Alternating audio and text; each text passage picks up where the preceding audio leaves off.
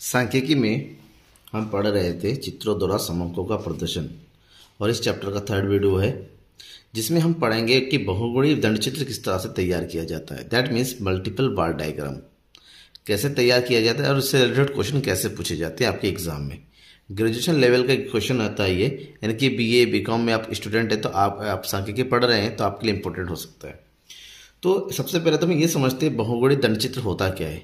Basically आपने दंड chit के बारे में पढ़ा, जहाँ पर आंकड़ों को दंड के माध्यम से, यानी कि बार के माध्यम से पेश किया जाता है, दिखाया जाता है।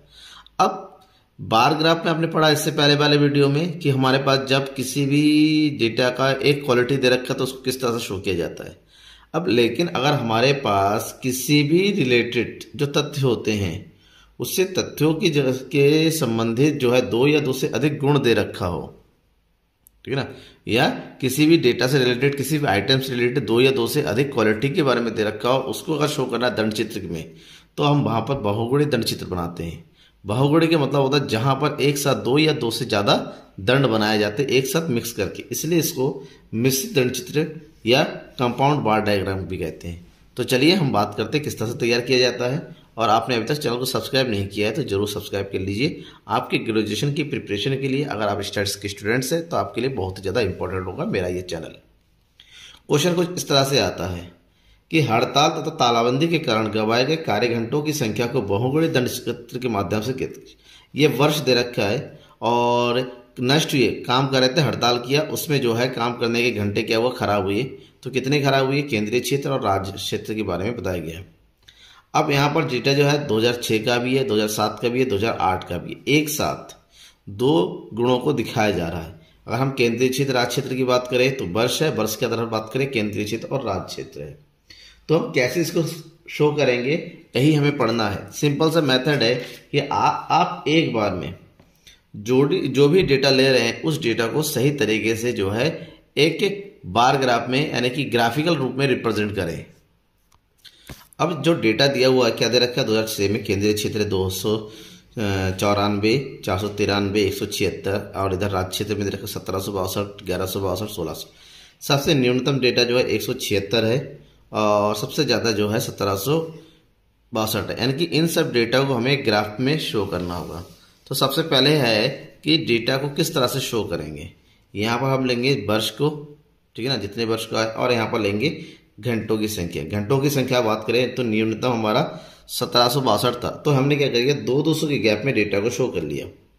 क्योंकि हमें क्या बनाना है? बार बनाना है। तो इसलिए वॉय एक्स पर जो है, आंकड़ों को एक समान अंतराल पर लेना ज़रूरी होता है। तो दो दो सौ के दो सौ, चार सौ छः सौ, यानी कि दो दो सौ गैप में हमने डेटा को रिप्रेजेंट कर दिया। अब जो भी डेटा दे रखा है, सबसे पहले क्या है? केंद्रीय क्षेत्र। कितना है? दो सौ चौरानवे। तो दो सौ चौरानवे लगभग लगभग कहाँ से कि एस्टिमेट होता है? तीन सौ यहाँ पर होता तीन सौ से थोड़ा सा कम। यानी कि ये हो जाएगा आपका दो सौ चौरानवे। और सेम 2006 का दर्शा रहे हैं हम। 2006 में अगला वाला क्या है? राज्य क्षेत्र। कितना है? सत्रह सौ बासठ। सत्रह सौ बासठ कहाँ जाए सत्रह सौ यानी कि सोलह सौ, थोड़ा सौ सोलह सौ ये है, इससे थोड़ा ऊपर ये हो सकता है। ठीक है ना? अगर आप स्केल का यूज़ करते हैं तो सबसे बेटर है कि स्कूल का यूज़ कीजिए और उसको बनाइए। सत्रह सौ, ये हो जाएगा आपका सोलह सौ, यहाँ पर सत्रह सौ का निशान लगा लिया था हमने। इसको खाली क्या कर दीजिए? मैच कर दीजिए इस तरह से। ठीक है ना? ये हमारा बनके तैयार हो गया। 2006 का। ये हो गया आपका केंद्रीय क्षेत्र। इसको हमने क्या कर दिया? एक के साइन दे दिया। ठीक है, सिंबल दे दिया। यहाँ पर लिख देंगे संकेत। जो हमारा लाइनर बॉक्स है, ये किसको शो करेगा? केंद्रीय क्षेत्र को। और जो नॉर्मल ब्लैंक बॉक्स है इसको शो करेगा ये ये राज्य क्षेत्र को। कोई भी बता सकता है देख के, ठीक है ना? अब हमें डेटा लेना है दो हज़ार सात का। दो हज़ार सात में क्या था? केंद्रीय क्षेत्र चार सौ तिरानवे। चार सौ तिरानवे यानी कि चार सौ से ऊपर और पाँच सौ से कम, यानी कि जस्ट लाइक यार तो ले लीजिए।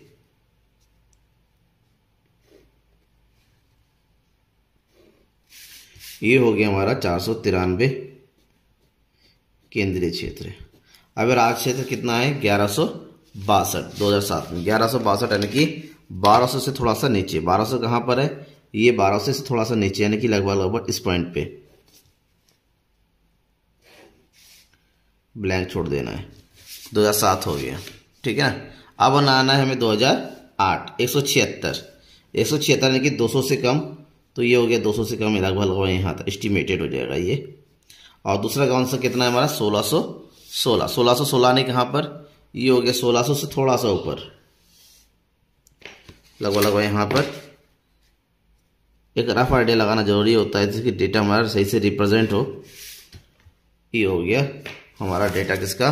2008 का। अब वहाँ पर एक साथ दो गुणों को रिप्रेजेंट किया। तो जिस ग्रुप में ये रहेगा इसको बोलेंगे हम बहुगुणी। बहुगुणी दंड चित्र ठीक है? अब बहु लेकिन अगर डेटा आपके पास दो से ज़्यादा हो तीन हो तो कैसे दिखाएँगे? चलिए हम आगे बढ़ते हैं। अब अगर क्वेश्चन इस तरह से आए।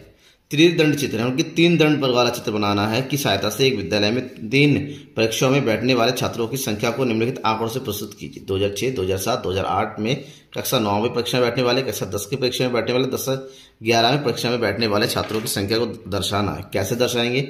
हम भाई सेम देखिए सौ एक सौ बीस दो सौ मैक्सिमम पाँच सौ है। तो जो डेटा होता है कि सौ सौ के आंकड़ों में अपने यहाँ पर शो कर दिया और यहाँ पर हम परीक्षा को या वर्ष को दिखाएँगे। सबसे पहले है कक्षा नौ, ठीक है ना? क्लास नाइन्थ क्लास टेंथ और 2011 यानी कि क्लास टेंथ 2006 को आंकड़ों को देखते हैं 2006 2006 में क्लास नाइन्थ के कितने हैं? 300 तो 300 कहाँ पर हो जाएगा? ये हो जाएगा 300 ठीक है क्लास नाइन्थ फिर क्या क्लास टेंथ का कितना है? 200 यानी कि यहाँ पर आ जाएगा 200 फिर है क्लास इलेवन का कितना है? 100 यानी कि ये हो जाएगा 100 अब यहाँ पर तीन क्लास है। नाइन टेंथ कैसे पहचानेंगे? तो नाइन सिंबल दे दीजिए। ठीक है, यहाँ पर क्या लिखेंगे हम? संकेत। जहाँ पर क्रॉस बॉक्स है यह है क्लास नाइन्थ जहाँ पर हमारा सीधा लाइनर होगा, उसको बोलेंगे हम क्लास टेंथ और जो ब्लैंक रहेगा दैट इज़ क्लास इलेवेंथ, ठीक है? और सिंबल में शो करना जो है सही रहता है। 2007 का कितना है? क्लास नाइन का 400 400 का मतलब यहाँ तक आ जाएगा। सॉरी ये थोड़ा सा ये हो जाएगा 400 फिर कितना है? 2000 क्लास टेंथ का 240 200 से थोड़ा सा ऊपर, यानी कि 300 से थोड़ा सा नीचे। फिर 120 100 से थोड़ा सा ऊपर। ये हो जाएगा आपका class ninth class tenth class eleven ये हो गया दो हज़ार सात के आंकड़े। दो हज़ार आठ में कितने? क्लास नाइन के पाँच सौ। पाँच सौ यानी कि जिस यहाँ पर। पाँच सौ हो गया, फिर है तीन सौ। फिर कितना है? दो सौ। ठीक है? यानी कि हमने एक साथ तीन गुणों को रिप्रेजेंट कर दिया। जब यहाँ पर एक से ज़्यादा गुण रिप्रेजेंट होता है, बालग्राफ में इसे बहुगुणी दंडचित्र बोलते हैं, बिल्कुल सेम इसी तरह से बनाएगा ये हो गया 2008 ठीक है ना? आपको समझ में आ गया होगा, कोई डाउट रह जाता है तो मुझे कमेंट करके ज़रूर बताइएगा। उसको सॉल्व करने की कोशिश करूँगा। Thank you everyone